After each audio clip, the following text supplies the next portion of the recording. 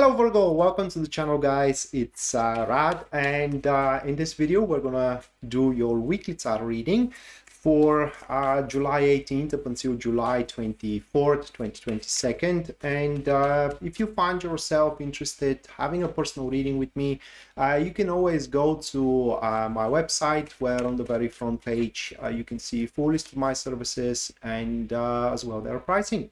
So let's just do the cut and uh, see what we got. Uh, first card for you that is going to be the ace of uh, of not of wands but that's the ace of cups. Okay so the ace of cups it's the first one.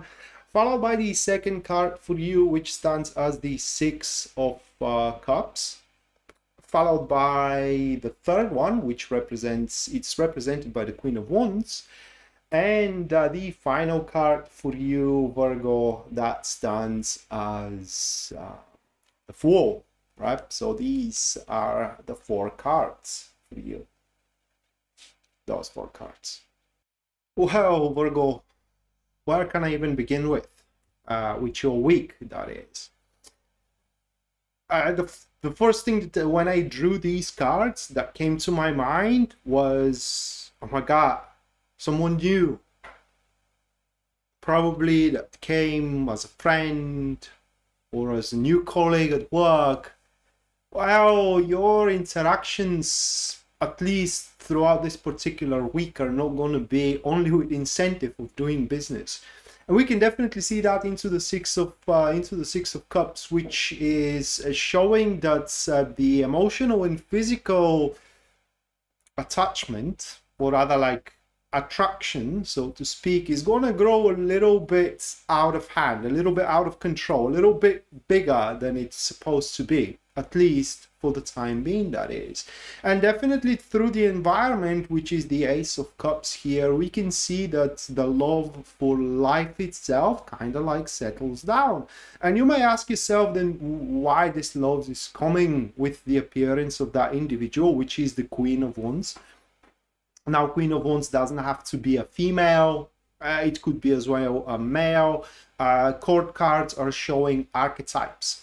So uh, it's it comes up because this person or that is finally a, a person who comes up into your environment or become more pronounced into your environment and it seems that they have the right answers they have the right say they have the right attitude they have the right approach, they do everything right according to you.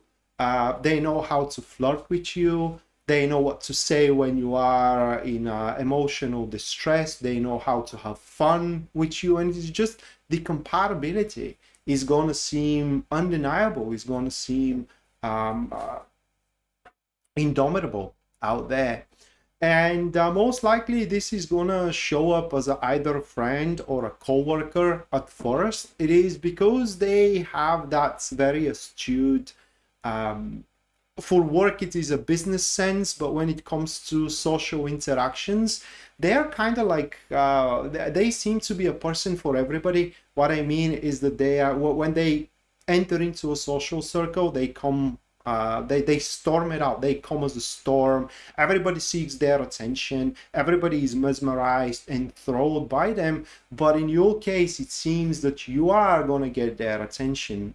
Maybe everybody will want their attention, but you, Virgo, are going to be the one who gets it at least for the time being, at least for the duration of that particular week. And wherever that person shows up for you, that Queen of Wands, it's going to transcend your experience is going to transcend your experience into either your career if this is the place where that person shows up. It's going to transcend it into your social circle if that if that is the place where that person shows up. Or it's going to transcend it into your love life if that person it is where it shows up. The thing with the environment here that we do have of the three or, or not the three but the ace of cups i'm sorry it is that this was the environment where you were the most unhappy with or straight away the environment that you lost hope for. For example, you may have lost hope that you're ever going to find love, or you have lost hope that you're ever going to find a business partner, or you have lost hope that you're ever going to find a faithful friend, and so on and so forth. well, your hope is to be restored, and the spot in your heart that it was emptied through the betrayal of somebody or through the un, uh, not unfaithful but uh, unpleasant chain of circumstances is going to be refilled back again and nothing is going to look the same when seen through the overflowing joy that that person brings into your life. Bottom line, it is that before this week, you saw an overwhelming problem, like the loss of hope that you ever going to find love. It's an overwhelming problem, right? The loss of hope that you ever going to get to uh, have somebody to work with very well, it's also an overwhelming problem. The loss of hope that you're ever going to find a good friend is also an overwhelming problem. This problem will become irrelevant with the appearance of this person because it's no longer a problem any more. So let's talk about a little bit about this uh, Queen of Wands here. Uh, as an individual, they have a very profound understanding into the human nature. That is how they always have the right answers. So as soon as they see you and they spend about 10 to 20 minutes with you, they immediately are going to know what kind of a person you are, what what needs do you have, okay where, where are your pros or where your pros i'm sorry where are your cons? And they're going to act accordingly uh, accordingly about it. That's why these people are usually very good uh, with leading others is because they are capable to place everybody into the field and into the sphere where that person is going to feel uh, on fire literally so whether you do business together or whether you are friends, you can expect great things to come uh, from that cooperation. And one of these great things, of course, it could be a intimate relationship.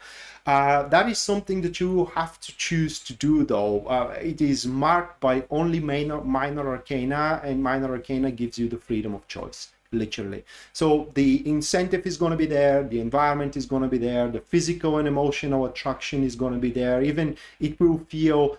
Uh, it will feel scary all right it will feel a bit too good to be true it will feel like a little bit ahead of yourself that you are a little bit ahead of yourself with that and um, I'm not saying that it's gonna be scary or it's gonna feel scary to you, but it's gonna be scary of how fast, how rapidly it does evolve. And you may decide throughout this week, okay, I'm gonna put myself a boundaries. I do business with this person, nothing more, nothing less. Or you may say to yourself, all right, so let's see where that path leads to whichever the case as the fool stands into the end of your reading that is the summary.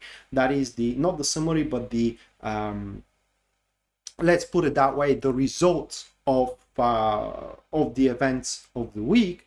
Everybody knows that the fool is a new beginning but what seldom is said it is that this is a new beginning bearing no weight from the past meaning that whatever you are to do with this person, whatever this new overflowing joy is, is not going to be spoiled, tainted by experiences from the past. Meaning, if that's a business uh, cooperation that you're going to have with this uh, individual, it's not going to have the problems with any business cooperation you had up until this point. This is going to be a brand new experience, like you are reborn.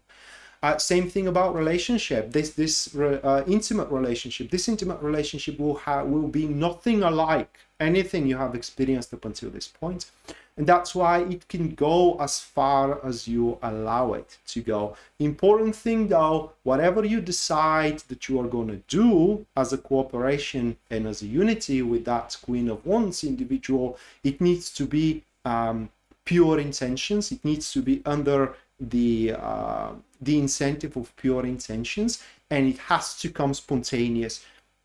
If you are forcing yourself to do it just because you heard that there is a uh, a potency here to be uh, to be in a flawless intimate relationship with this individual but you do not feel it doesn't come to you spontaneously then don't do it guys it's not gonna go well for you so whatever spontaneously comes to you that you have to be with this individual that's your path that's your choice this is where you should lean to this is the path that you should see where it leads you to. And so with that said, that was your uh, weekly tarot reading, Virgo. Hopefully you do enjoy it and you do liked it. And uh, we are to see each other next time. Until then, bye.